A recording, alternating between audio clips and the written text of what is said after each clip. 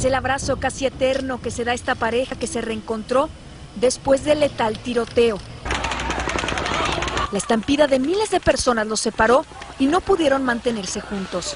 Cuando empezaron a, a oír los ruidos, no sabíamos si era balas o alguien echando cohetes, pero cuando empezaron todos a correr, nosotros nos, nos escondimos un, un segundo, pero cuando sentí que me habían pegado, le dije que teníamos que movernos, ir a agarrar auxilio porque quería parar la sangre, porque tenía miedo que estuviera sangrando más. Empezamos a correr y es cuando la perdí.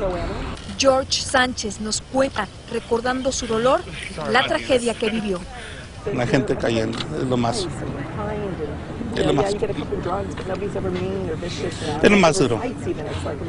Estar herido es una cosa, poder moverse, pero los que no podían moverse, los que no podían ayudar.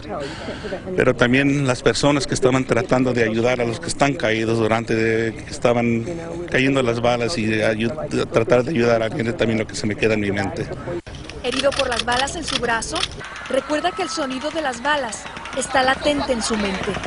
Mientras tanto, se conocieron estas imágenes que muestran la habitación de Stephen Paddock.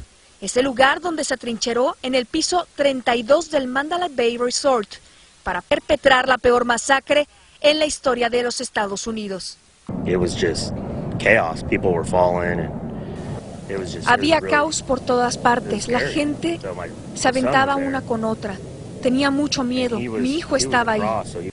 Nosotros logramos ingresar por unos segundos a un cuarto del Hotel Mandalay Bay.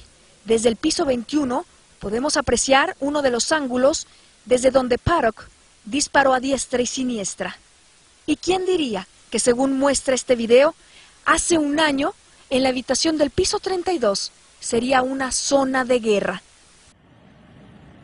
Y debo decirles también que cuando ingresamos por unos segundos literalmente a esa habitación y pudimos captar eh, esas imágenes que ustedes acababan de ver con uno de nuestros celulares, pudimos apreciar que todavía había objetos de valor en ese epicentro donde ocurrió la tragedia, en ese eh, escenario donde cantaba uno de los artistas más reconocidos de la música country. Hasta este momento hay más preguntas que respuestas por parte de las autoridades. Lo único que he confirmado hace unos momentos es que la novia de Stephen Paddock es ya una persona de interés y siguen investigando su paradero y muy pronto se sabrá si ya pudieron eh, platicar, conversar con ella acerca de Stephen Paddock.